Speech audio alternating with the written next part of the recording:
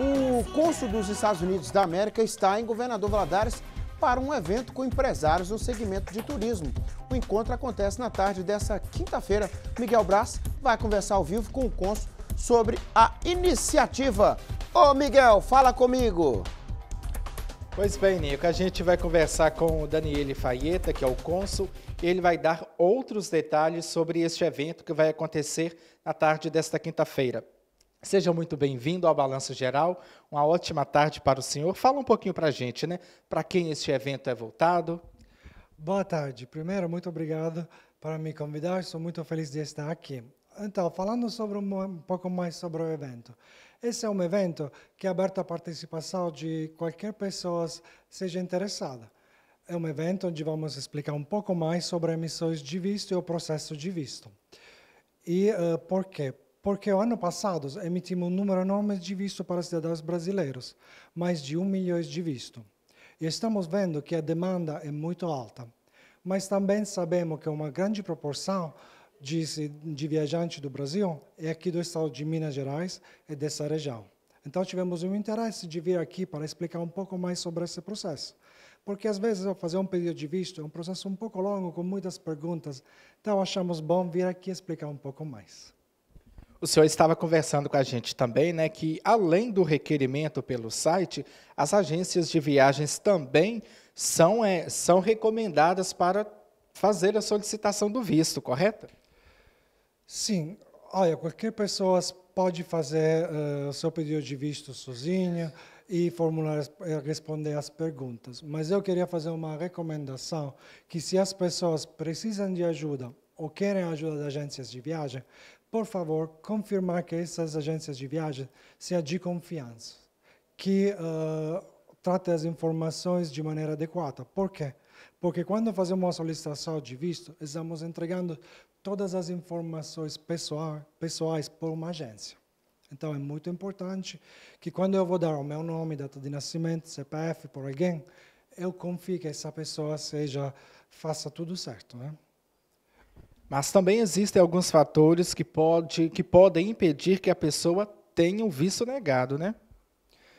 Olha, para, é importante que quando estamos lá uh, na entrevista, todas as informações estejam certas e corretas. E também eu, quero, eu recomendo se preparar um pouco para explicar qual é o seu propósito de viagem. Por quê? Porque a entrevista de visto é um processo rápido, quase dois minutos, três minutos, e também não é um processo baseado em documentos, mas uh, o foco é na entrevista e na resposta às perguntas. São vários consulados aqui no Brasil, a partir do momento da solicitação, né, a, a, demora, não vou dizer a demora, mas o tempo para a pessoa fazer a entrevista depende muito da demanda, correto? Correto. Primeiro, quero dizer que temos cinco postos aqui no Brasil dedicados para viajantes brasileiros para tirar o visto. Temos a Embaixada em Brasília, os consulados em São Paulo, Rio de Janeiro, Recife e Porto Alegre. E, uh, sim, o tempo de espera depende da demanda. Muitas pessoas lembram que ano passado a fila de espera estava muito longa, né? Mas lá na, na embaixada sabemos que ninguém gosta de aguardar. Então tomamos bastante medida para, medidas para melhorar a situação. Uh, flexibilizamos a renovação de vistos, uh, contratamos novos funcionários e recentemente também liberamos o pagamento com o Pix. E agora a situação está bem melhor a fila de espera é muito mais curta. Por exemplo, hoje em Brasília é mais ou menos duas semanas.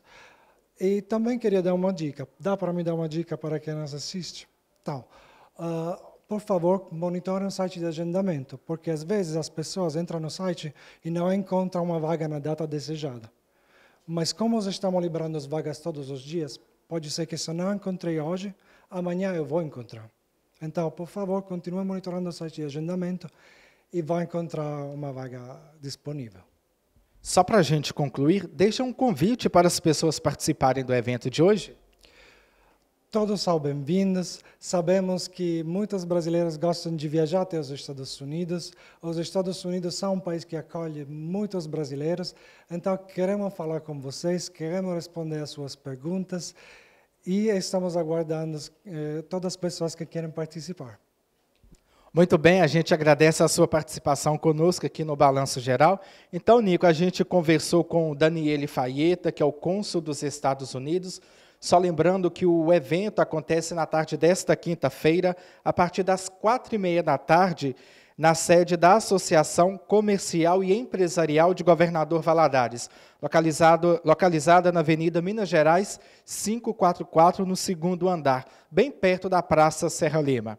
Eu volto com você, Nico. Ô, Miguel, obrigado aí pela informação, né? Parabéns a todos os idealizadores deste evento, né? Belíssima iniciativa pela, pela relação que, que temos com os Estados Unidos da América. Historicamente, importante essa mediação, essa conversa para esclarecimentos, estreitar laços, né? Network, por aí vai, né? E é legal receber é, o Consa aqui na TV Leste. Que grande honra para todos nós. Honra muito mais para você, né, Miguel, por tê-lo entrevistado aqui em nosso nome e caso você consiga com a turma aí, traz o Consul aqui para conhecer o apresentador do Balan Geral e o estúdio para a gente fazer uma foto e transmita meu beijo no coração dele aí, porque a gente tem um respeito muito grande pelos Estados Unidos da América. Fico feliz em recebê-lo aqui e convida a turma que trouxe ele aí para trazê-lo aqui no estúdio, Miguel. Obrigado, tá, meu irmão?